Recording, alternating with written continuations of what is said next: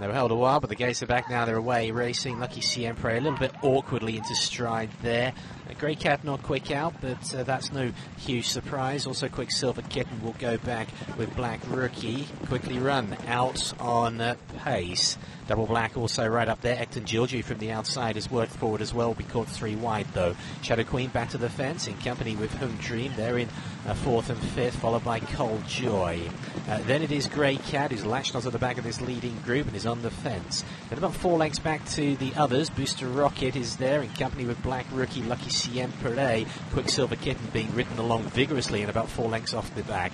So it is quickly run as they crest this final turn with Double Black for company, Hung Dream moving up on the outside, Shadow Queen back to the fence, Egton Georgie between them.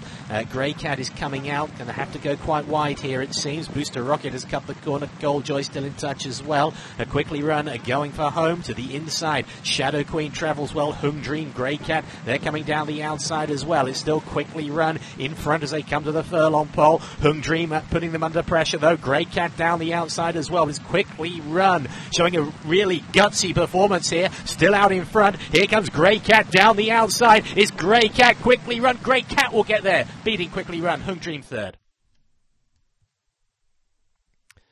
Cat, quick fire double for Moon Se-young. This